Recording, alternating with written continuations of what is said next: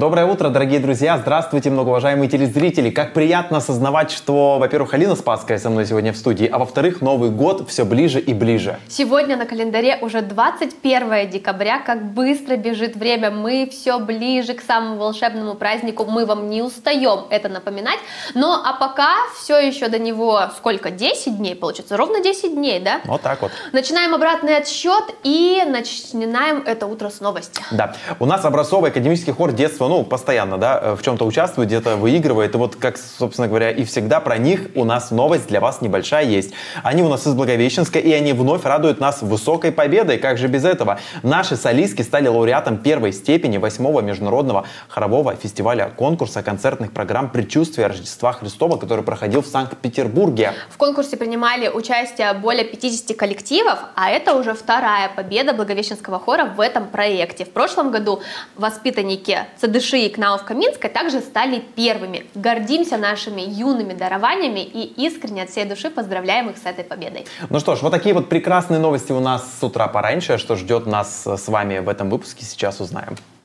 День горячего шоколада, день рождения кроссворда, день короткого рассказа. Сегодня в календаре дат немало интересных праздников. Также в нашей исторической рубрике расскажем о событиях Амурской области в разные годы в этот день. Стоимость этой рыбы высока, поэтому она является показателем статуса хозяина, о ком речь узнавала наша коллега Екатерина Талалай. Вместе с сегодняшними гостями будем говорить о безопасной встрече Нового года. Первой в студию придет Евгения Сергеева, специалист областного управления Роспотребнадзора, которая подскажет правила гигиены при посещении массовых утренников. Второй наш собеседник, спасатель Максим Ушаков, даст советы, как не попасть в беду, учитывая сильные морозы. И в завершении подскажем амурчанам, на какие новогодние мероприятия сходить в ближайшие дни. Ну а сейчас мы сделаем короткую паузу и посмотрим небольшой выпуск новостей. Совсем скоро вернемся в эту студию и продолжим наше утро. Доброе утро еще раз всем тем, кто смотрит наше утро на Амурском областном телевидении. В студии Алина Спаская, Алексей Риман, который обиделся на меня в прошлый раз за то, что я его не представила. Ну кто же его не знает, Леш? Ну кто тебя не знает, скажи. Уже все, если Алина Спаская, то рядом Алексей Риман. Ну да, но как бы лишний раз, да почему бы и нет, да, вдруг кто-нибудь подзабыл. Ну ладно, зато я знаю точно, что никто не забыл, так это то, что в этой части программы у нас э, праздничный календарь открывается, и мы с ним знакомимся, поэтому традиции нарушать не будем. Итак, первый праздник. Сегодня 21 декабря отмечается День создания производственно-технических служб уголовно-исполнительной системы Российской Федерации. И именно в этот день, в 1902 году, в составе главного тюремного управления Минюста России было образовано седьмое дело производства, ведавшая организация работ ссыльных каторжан и заключенных, ставшая предшественником современного производственно-технических служб служб, учреждений и органов. Какой серьезный праздник, какие серьезные слова. Поэтому мы, наверное, всех сотрудников просто поздравим и скажем спасибо за такое непростое дело. И по классике два коротких, один протяжный. Ура, ура, ура. Едем дальше. Следующий праздник – это день рождения баскетбола. Ровно в этот день, в 1891 году, состоялся первый в истории баскетбольный матч ты любишь баскетбол? Э, ну, с моим ростом нет. И я.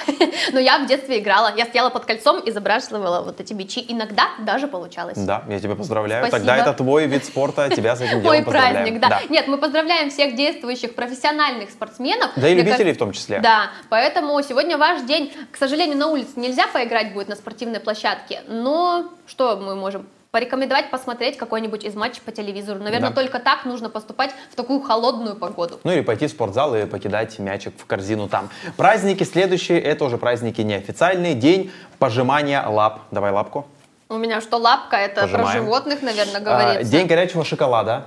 Угу. А, нету. Я не, ничего не могу предложить. Хорошо. Всемирный день наслаждения.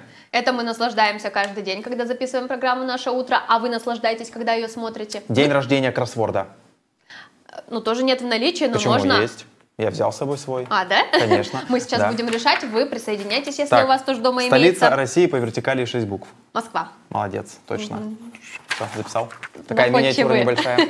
День короткого рассказа. Угу. Ну, собственно, это тоже происходит у нас каждый день. Мы каждый день вам о чем-то интересном и актуальном рассказываем, пока все сходится. День повара японской кухни. Кто любит роллы, суши, вот эти все, э, там, то, что в коробочках привозят, и я тоже. Так что можете сегодня себе заказать и себя побаловать.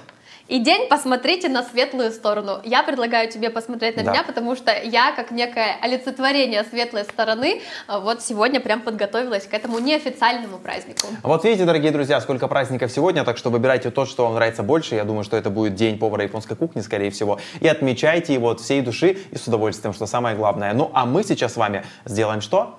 Правильно, заглянем в историю и узнаем, что случилось на Амурской земле 21 декабря.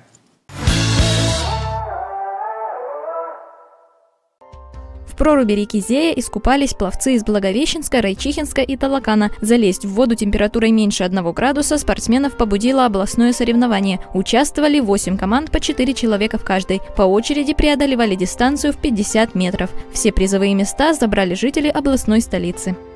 В Благовещенске семь Дедов Морозов и Снегурочек пришли на кастинг. Боролись за право поздравить амурчан на главной площади города. На самопрезентацию претендентам давали 20 минут. Среди конкурсантов были работники детских садов, школьные учителя, сотрудники праздничных агентств. По итогу конкурса отобрали три лучшие пары, которые выступили на открытии снежного городка. В Двоку провели конкурс снежных скульптур. Соревновались учащиеся всех курсов. Представили 11 работ. Военные создавали брутальные образы русских богатырей, танки, Деда Мороза рядом с царь-пушкой и персонажей популярных мультфильмов.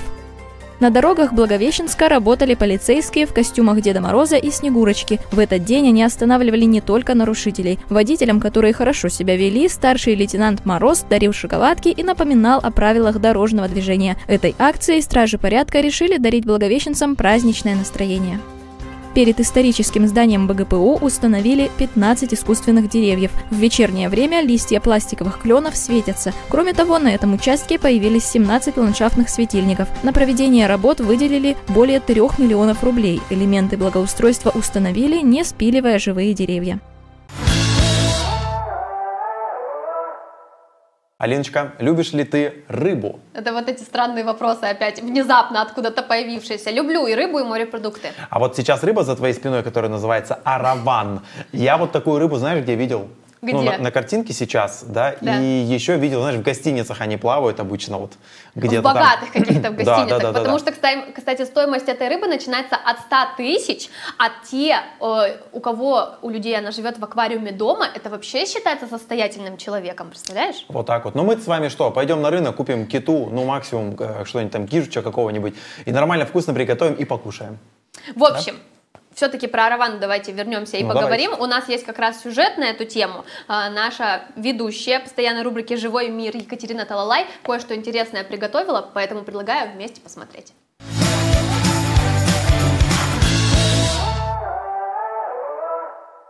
Доброе утро! Сегодня мы вновь находимся в необычном месте Благовещенской студии аквариумных рыб.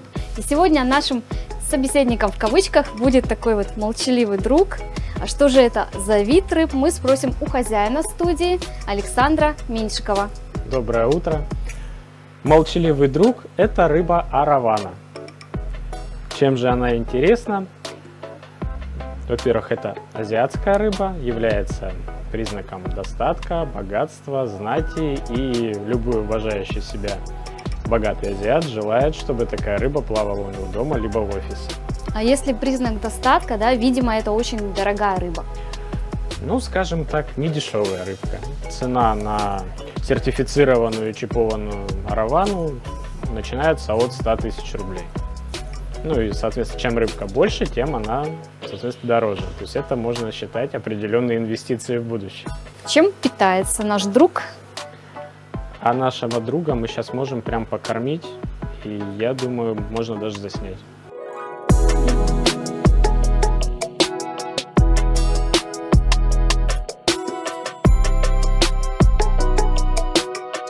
Александр, вот вы ее хорошо так или его, да, мы не знаем, кто это подкормили, тараканами живыми, а как в природе они выходят из положения, когда самим надо охотиться?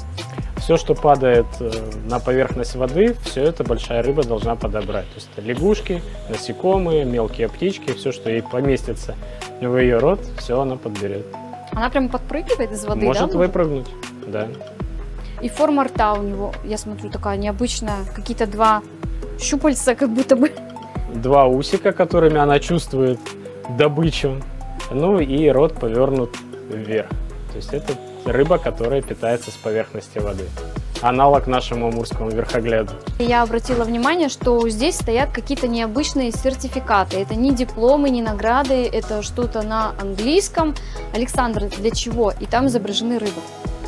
Это паспорта на таких рыб. Вот у нас в студии три таких зверя присутствуют, вот на каждого свой паспорт. Так, напомните, где он у нас родился, откуда прибыл? Эти араваны приехали с Сингапура. Почему Сингапур, не другая какая-то рыбная страна? Сингапур очень плотно занимается разведением данных рыб, там очень много ферм, там э, есть выставки, которые они регулярно организуют. Ну и в принципе это Азия, которая не, стоит у истоков э, развития в данной э, теме рыб, в, именно в араванах. Я так понимаю, коль размеры у него будут довольно-таки внушительные, то и аквариум для содержания нужен тоже не маленький. Конечно, но здесь аквариум больше играет, наверное, э, параметр аквариума – это длина, потому что рыба, вы видите, вытянутая, ну и чем длиннее будет путь ее движения, тем для нее лучше. Ну и объем аквариума желательно литров хотя бы 350. А это размеры, вот если в длину, 350 литров, это ну, сильно вот большой? вот этот аквариум соответствует этому объему. Не маленький, да, получается такой аквариум. Если наши телезрители вдруг захотят завести такого друга у себя в квартире, будьте готовы приобрести целый комод под аквариум и, соответственно, аквариум размером с комод.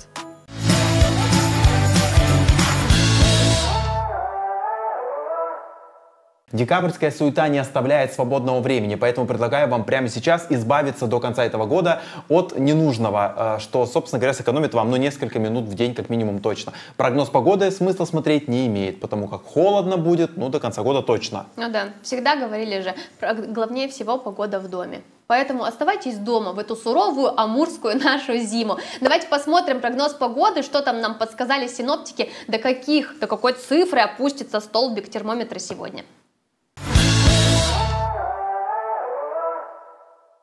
Буквально на днях в детских садах, школах и учреждениях культуры области начнутся новогодние утренники, куда, конечно же, пойдут дети и их родители. Но важно помнить о том, что вирусные инфекции не дремлют, и если вдруг ваш ребенок простыл, то, наверное, стоит ему отказаться от посещений подобных массовых мероприятий. А может и не стоит. Давайте сегодня поговорим о том, как соблюсти гигиену, чтобы не подхватить ОРВИ, а также самому не стать переносчиком вирусных инфекций. Нам об этом сегодня расскажет наша гостья, начальник отдела санитарного надзора Управления Роспотребнадзора по Амурской области Евгения Сергеева. Доброе утро. Доброе утро. Так, ну расскажите нам, да, мы все прекрасно понимаем, что если ребенок приболел, то лучше ему остаться дома, но из ваших уст это будет звучать как-то убедительно. Да, давайте проговорим основные моменты. Да, конечно же, Новый год — это самый любимый детский праздник, детки все его ждут, но, к сожалению, детки у нас болеют, болеют в том числе и на Новый год. Конечно же, а, заболевшего ребенка отправлять на утренник не стоит. Во-первых, это нагрузка на сам детский организм. Во-вторых, это небезопасно для окружающих деток, которые будут присутствовать на празднике. Кроме того, сами а, родители, которые присутствуют на празднике, должны быть, безусловно, здоровыми. Приходя на праздник, необходимо соблюдать респираторный этикет. То есть мы чихаем не в окружающих, а чихаем в ладошки, в которых находится у нас обязательно платочек. Вот. А, кроме того, на сегодня учреждениям образовательным рекомендовано проводить утренний фильтр в усиленном режиме, а, проводить а, проветривание, соблюдать, а, проводить гигиеническую влажную уборку и усилить дезинфекцию.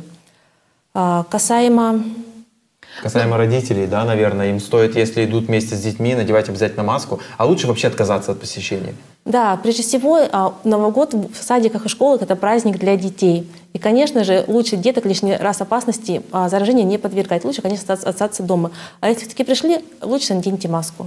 Но в любом случае, наверное, да, вот этот период зимний, холодный, когда все вокруг простужены, к сожалению, так или иначе лучше носить маску в любом случае, даже если ты не болеешь, все верно? Конечно, конечно. Это мера профилактики очень хорошо себя зарекомендовала. И, э, наверное, таким учреждениям, как школы, детские сады, вот вы говорили, что элементарно, да, проветривание, соблюдение там, норм температуры и так далее, всех а, осмотр, э, прежде чем ребенок отправится в группу или на праздник. То есть это не только в период конкретный этот, но и круглогодично у нас же сейчас э, инфекции-то не дремлют, как говорится. Все эти мероприятия, они так или иначе должны проводить. Да, конечно, все верно. У нас эти мероприятия проводятся круглый год, а в период праздников они просто усиливаются. Так, что касается, получается, всех вот этих вот атрибутов, да, маска там, руки мыть и все остальное, вот до утренника, во время утренника, после утренника все помылись там, вымылись и спокойно живем дальше. А вот как быть с костюмом? Вот его стоит после каждого утренника, там, например, стирать или как-то обрабатывать. Да, у ребенка же бывает две-три елки, то есть одна в детском саду, другая там где-нибудь в театре кукол, допустим, да, и вот костюм, то есть он же там в него дышит, если Да. еще костюм этот с головой накладной какой-нибудь, что делать с этим? Руки-то помыть-то это не проблема, а вот с костюмом как быть? А, ну касаемо костюма, тут надо исходить из требований, которые определяются к самому костюму. То есть, если можно его погладить, лучше после каждого утренника его погладить. То есть мы обработаем его высокой температурой. хотя бы, да, там? Хотя бы паром, да, обработать его. А если можно его вывесить на мороз, можно вывесить на мороз его. Если можно постирать, к сожалению, не все костюмы можно постирать, да. они порой как бы, да, а, требуют только химической чистки, то лучше постирать костюм.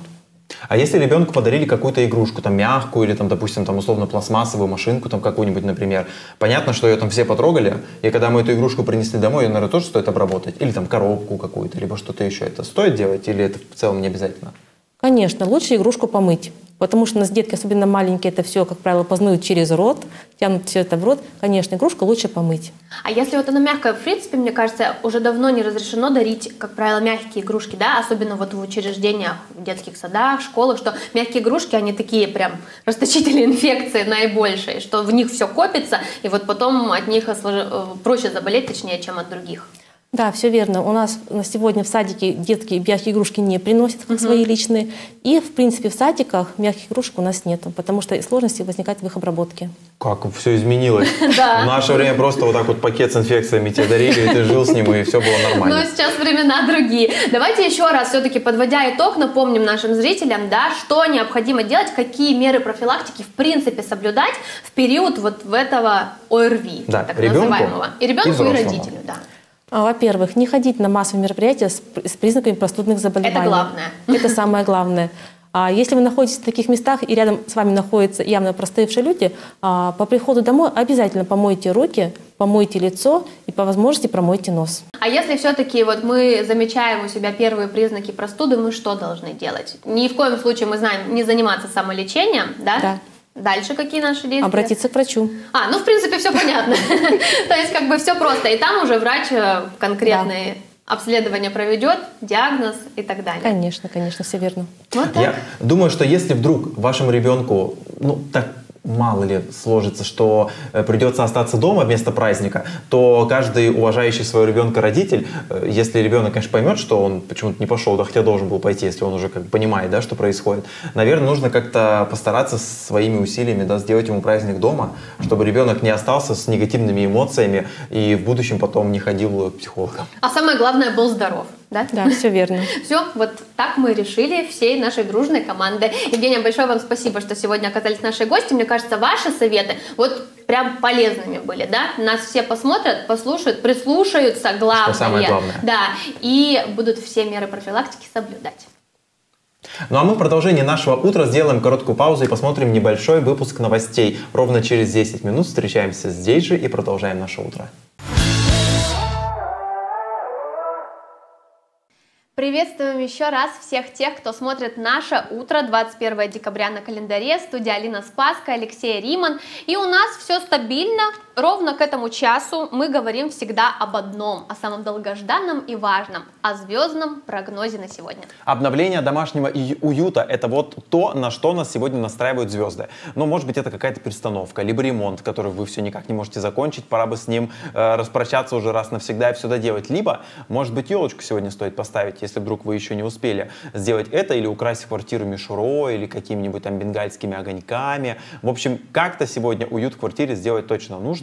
А еще сегодня звезды настоятельно рекомендуют заняться планированием. Вот если у вас уже заготовлена в голове установка на новогодние праздники или на проведение вот этой главной ночи в году, пожалуйста, возьмите ежедневник, выпишите ручкой все вот это вот под пунктиками, тогда вам к концу года, а до его прямо осталось конца-то 10 дней буквально, станет значительно легче жить, если вы вот себе все в голове своей и перед глазами раз- разложите по полочкам. В общем, планирование штука полезная, Алин, полностью с тобой согласен, и со звездами в том числе, поэтому ставим дома елку и планируем, какие салаты будем готовить. Ну, это если так, да, обобщить. Ну, а теперь предлагаю посмотреть более точный прогноз для каждого знака зодиака и узнать, что там звезды нам подготовили. Давайте посмотрим.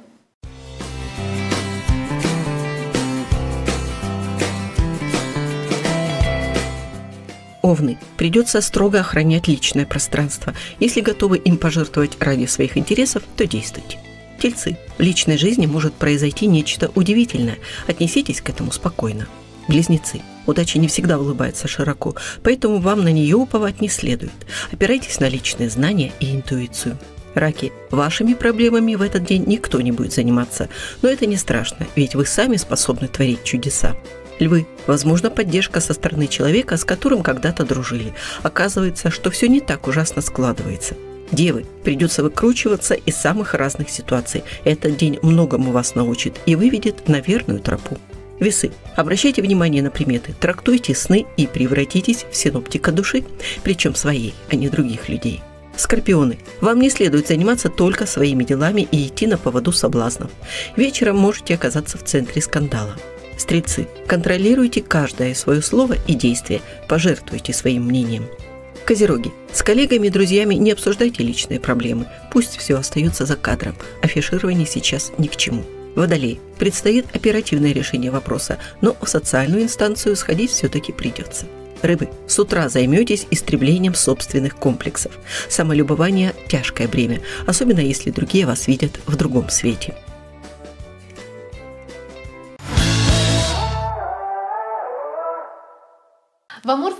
Области установились довольно крепкие суровые морозы, которые, кстати, по прогнозам синоптиков, не собираются сдавать своих позиций. Впереди длинные новогодние каникулы, это значит, что все амурчане массово поедут на турбазы, э, к соседям на дачу, а может быть даже кто-то в другой город. Вот, или на зимнюю рыбалку. В общем, как себя обезопасить в такие достаточно суровые морозы, мы поговорим с человеком, с которым я лично знаком очень давно. Это э, спасатель поисково-спасательного отряда Главного управления МЧС России по Амурской области Максим Ушаков. А почему я с ним знаком? Может, Максим, это же вы мне постоянно смс отправляете, что вот Алексей, завтра будет холодно, через неделю Конечно. будет холодно. Все, Лично. я так нас специально обученный человек, да. Да. Я Хорошо. просто к чему про смс спросил. И действительно, недавно пришло сообщение, что впереди ожидаются сильные морозы. Вот как, как быть вообще, как себя обезопасить? Ну, двое штанов, два тулупа, три шапки или что делать? Нет, ну ладно, а если ты куда-то поехал все-таки, как вот если у тебя замерзла машина, что делать? Отвечайте нам на все вопросы.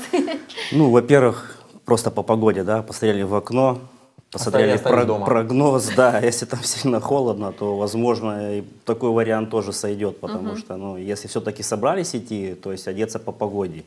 Если вы решили праздники провести за городом, да, то есть у вас ну, длительная поездка намечается там, позаботьтесь о дополнительных теплых вещах. Позаботьтесь о, маршруте исследования вообще, куда вы поедете, допустим, далеко, да, что, возможно, там где-то по пути есть какие-то кафешки, что в случае чего можно будет остановиться, Погреться. выпить горячий чай, да, просто элементарно согреться. А если авто вот все-таки замерзло, что с ним делать? Что делать с собой? Понятно, вы взяли дополнительный комплект одежды, а с машиной? Если у вас замерзла машина, так уже просто случилось, да, э, тогда вы просто звоните в службу спасения, объясняете ситуацию, объясняете, где вы находитесь и ждете помощи. Вот, собственно говоря, и все. Служба спасения, напомним, 112. Да. Должны все номера знать наизусть. Да. Всё, я на всякий случай. Я вот хотел, знаете, про что спросить. Есть сейчас разного рода гаджеты, или как это правильно назвать, не знаю. Вот там, знаете, э, в стельки кладешь, и они там что-то как-то сами греются. Да, различные Вот есть, такие вот есть истории. стелки, которые греются там за счет этих химических элементов, есть каталитические так называемые грелки, которые там химические элементы, его запускаешь, и он в варежках можно его держать, он будет вам греть руки. Вот. Это... Все, они в магазинах продаются там, где для Это хорошая туристов. вещь, э, полезная. Хорошая вещь, полезная, она не помешает. По поводу согревающих напитков, да, давайте поговорим сначала про безалкогольное. Чай, кофе, это все желательно брать с собой. Конечно, если да, если у вас есть улице. термос, то желательно, чтобы он тоже с вами был рядышком. А вот еще есть э, некоторые люди, которые в термос наливают э, напитки, которые обычно подаются холодными, да, и эти напитки тоже считаются горячительными. Вот, наверное, с ними лучше на улице вообще никак не злоупотреблять, иначе может произойти... Сто процентов, потому что, да, алкоголь, он будет ускорять ваш процесс гипотермии, просто ваш организм будет гораздо быстрее терять тепло. А хотя самому будет Ваше, казаться, что Ну жарко. да, вы же будете бодрый, это же обман мозга идет просто. Вот так, будь на чеку всем даже в такой ситуации. Хорошо, а если все-таки, к сожалению, глубокому, произошло обморожение, вот что делать в этом случае? Ну, нужно срочно попасть в тепло, в теплое место. Просто не, не нужно пытаться какие-то действия, да, там многие даже слышали, что там разогревают и снегом там растирают, как бы не нужно этого делать, там просто ничего хорошего, может быть даже вы не навредите, но ничего хорошего тоже не сделаете. Скорее всего, если кожа уже замерзла у вас, покровы истончились, вы просто себя исцарапаете всего. Даже, может быть, себе ну, хуже сделаете. То есть клин Еще клином быстрее. вышибает, это не к тому Не надо, поговорка, нет, да? Да, это не Надо этот случай. Как бы нужно, во-первых, просто попасть в тепло. Э, Если вы чувствуете, что у вас сильное обморожение, да, то есть вы не чувствуете просто кожу в этом, просто прям чувствительности ноль, то, конечно, нужно обратиться к врачу. И он уже поможет, Всё, подскажет естественно, все врачи там. уже вам скажут, что и как нужно делать. Так, ну если мы заговорили на тему ужастиков, давайте обсудим еще один очень важный вопрос. Любители зимних, зимних рыбалок, да, выходящие на лед, и не проверив его на уровень плотности, ну, мало ли там, куда пошли, куда забрели, и, ну, не дай бог, конечно, под этот лед провалились. Как быть? И А. тому, кто провалился, и тому, кто стал очевидцем. Ну, я думаю, обычно там по одному мало, когда они, да, сидят, просто рыбаки, они там увидят, я, помогут его извлечь. Надеюсь, он тоже будет благоразумный человек и не будет себе выпиливать там лунку 2 на 2 метра, правильно, чтобы, если что, в нее просто уйти с головой. Э, Поэтому ему то же самое, как он есть в этой одежде, не нужно ничего снимать. Просто как есть, его нужно либо там на машине достать вот в теплое место, да, либо ему двигаться, если он рядом живет, просто, но обязательно в постоянном движении ты идешь до теплого места. Чтобы Всё, не там- застыть где-нибудь ну, ледышкой. конечно, вот да, да, там просто ты переодеваешься уже в теплую одежду, э, пьешь теплый чай, теплая ванна. И забываешь это все как страшный сон. Ну нет, Ну, или обращаешься к врачу да. все-таки, мне кажется, это в Если наши ты почувствуешь недомогание, то, морозы. конечно, к врачу. А как Как человека бы, ну, достать вот из-за льда, который ну, провалился вот он под воду? Там же я Ну, просто знаю, что к краю нельзя подходить, что может тоже обвалиться, и тут к нему... Ну, если попасть. у нас это, допустим, сезон полыньи, да, или становления еще льда, либо когда вот уже тают реки, то, само собой, не нужно этого делать. Если видишь, что человек, просто нужно внимательно, потихонечку, желательно ползком к нему подползать, дать ему часть своей одежды, куртку кинуть, например, просто И и, да, и потихонечку вы за него подтягиваете друг друга, он будет себя вытягивать, помогать сам. Еще вопрос, один из самых таких ярких моментов в прямом и в переносном смысле Нового года, это фейерверки, конечно, салюты, фейерверки, люди готовятся, люди покупают вот эти вот длинные палки, бенгальские огни. Какие правила нужно соблюдать с пиротехникой? Да здесь, наверное, вообще самое да, простое правило, то есть это благоразумие. Ты должен вообще понимать, что ты собираешься сейчас делать и где. То есть не нужно ставить, э, а сейчас мы знаем эти пиротехнические заряды, они все очень сильные, там даже маленькие, да, хлопушечки, казалось бы, бахают, здорово, Ого-го. да, здорово Все слышат, бахают, да. как они бахают. Потом есть э, многоря- многозарядные различные всякие хлопушки, их тоже нужно ставить э, только на улице, исключительно. Ты выходишь на улицы, ты На осмотрелся, чтобы, естественно, там от домов, чем дальше, тем лучше. Ты должен понимать, на всех этих э, зарядах они указано расстояние, где ты должен, как его запускать. Подпереть желательно чем-нибудь, Само да? собой, да, детей мы туда не подпускаем, чтобы это все стояло стационарно, плотно и четко, и потом только, наверное, воспламенять. Вот. Но если вы не уверены, конечно, лучше, наверное, все-таки это доверить там, само собой, мужчинам и Мужчинам, кто умеет читать, да. что написано на упаковке, Совершенно да, верно, чтобы да. прочитать эти меры предосторожности и их соблюсти. да. И самое главное, нужно закрыть окна и окна на балконе, да, чтобы какой-нибудь снаряд, не дай бог, не залетел. Лучше это все делать на улице, да, выйти на улицу. Не, не, я имею в виду, потому что кто на улице залить, запускает, да. я такой вышел и свои окна позакрывал. Да. С балкона Да, запускать лучше- вообще Чтобы к ничего тебе нельзя. сюрприз не прилетел. Конечно, да. Ну Ну, вот, можно еще ведь выйти и замерзнуть на балконе, да, то есть у нас есть Нет, такие там-то случаи. одеться, люди. это понятно. Все, мы это все разобрались с этим. Ну в общем, что, доодеваемся по погоде. Даже если выходим на балкон смотреть э, фейерверк, естественно, если фейерверк запускаем, читаем обязательно инструкцию и окна закрываем, если э, кто-то уже начал его запускать на улице, а вы ну, не хотите, да, чтобы ремонт свеженький на балконе как-то испортился. Максим, вам спасибо. Надеемся, Спасибо. что конкретно вашей работы в новогодние праздники будет как можно меньше. Спасибо. У нас в области до конца этого года запланировано огромное количество массовых культурных мероприятий. Но все-таки Новый год впереди. и Если вдруг у вас еще нет того самого волшебного настроения, то самое время идти заряжаться в разного рода культурные учреждения. А вот в какие? В областные культурные учреждения. Их у нас огромное количество. И филармония, и театр драмы, и театр кукол, и общественно-культурный центр. Поэтому, друзья, смотрим афишу, выбираем понравившееся мероприятие. А вот где ее посмотреть, мы вам как раз сейчас подскажем в следующем сюжете от нашей коллеги Екатерины Талалай.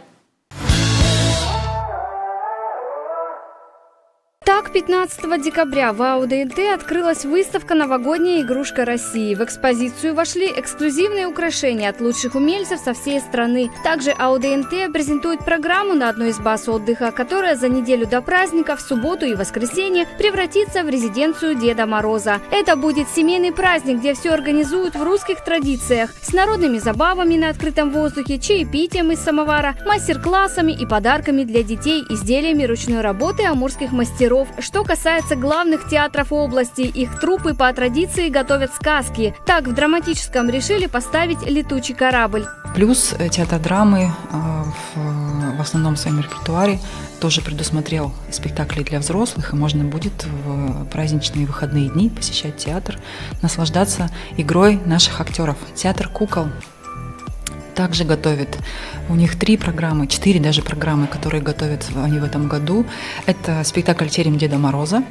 А, он начнется тоже уже в преддверии Нового года. Также театр кукол готовит спектакли «Морозка», «Топотушки валенка» для самых маленьких и представление «Старые сказки Амурчонка» с хороводом возле елки с Дедом Морозом и Снегурочкой. Областная филармония, начиная с 26 декабря, дает старт ежедневным новогодним театрализованным концертам под названием «12 месяцев». В конце декабря здесь же состоятся новогодние вечера для более старшей публики «Снежное лото». Традиционно 13 в зале филармонии будут провожать Старый Новый год одноименным традиционным концертом, а 15-го амурские зрители получат рождественский подарок от камерного хора «Возрождение» – концерт «Зима, Новый год, Рождество». Насыщенную программу готовят и в Амурском областном краеведческом музее. Там пройдут театрализованные мероприятия, квесты на зимнюю тему. Свою программу представит областная детская библиотека, квизы, книжные экспозиции, мастер-классы по изготовлению подарков и сувениров в разных техниках. Тех, кто не боится морозов, приглашают на уличные гуляния. В Благовещенске будет будет несколько таких точек. Начнутся мероприятия с 26 декабря. Это парк дружбы. Первое представление новогоднее, предновогоднее. Ежедневно с 30 э, декабря а, на площади Ленина будут проходить э, игры с аниматорами в период с 13 до 15. Также подготовлены новогодняя вечерняя программа.